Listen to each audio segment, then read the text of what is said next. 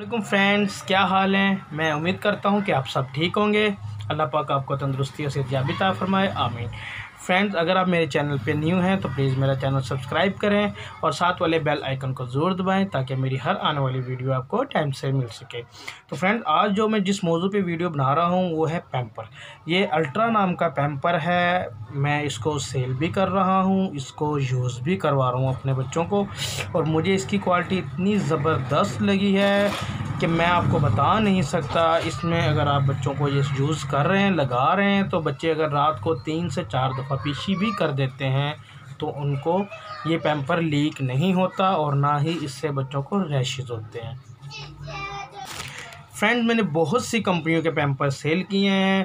وہ ایک original pamper کو چھوڑ کر باقی جتنے بھی تمام کمپنیوں کے پیمپرز ہیں، ان سب میں سے مجھے یہ الٹرا کا جو پیمپر ہے، یہ بہت ہی اچھا لگ رہا ہے۔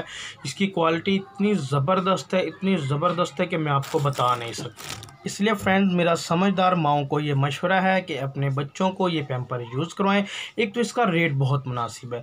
یہ آپ کو، اس کا جو پورا پیک ہے، وہ آپ کو اتنا مہنگا نہیں ہے، وہ صرف آپ کو ساڑھے چھ سو سے سات سو کی رینج میں یہ آپ کو دستیاب ہے۔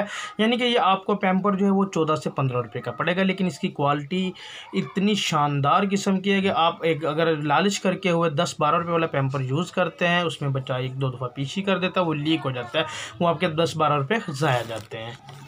اگر آپ اوریجنل پیمپر یوز کرتے ہیں، وہ آپ کو پر پیس پچیس روپے کا پڑے گا۔ یہ آپ کو بارہ چودہ روپے کا پیس پڑے گا۔ اگر آپ بارہ روپے میں پیمپر کو لگا کے یوز کر رہے ہیں، وہ آپ کے بارہ روپے ضائع جاتے ہیں۔ دو روپے کی لالچ نہ کریں۔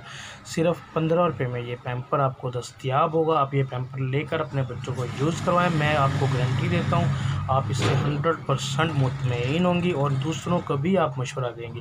تو اس لیے فرینڈز میں آپ کو اس ویڈیو کے بارے، اس پیمپر کے بارے میں بتا رہا تھا۔ اگر آپ کو میری ویڈیو اچھی لگے تو پلیز مجھے کمنٹس کر کے بتائیے گا اور آپ کو نیکسٹ کون سے ٹاپک ویڈیو چاہیے مجھے وہ بھی بتائیے گا اور پلیز میرا چینل سبسکرائب کریے گا۔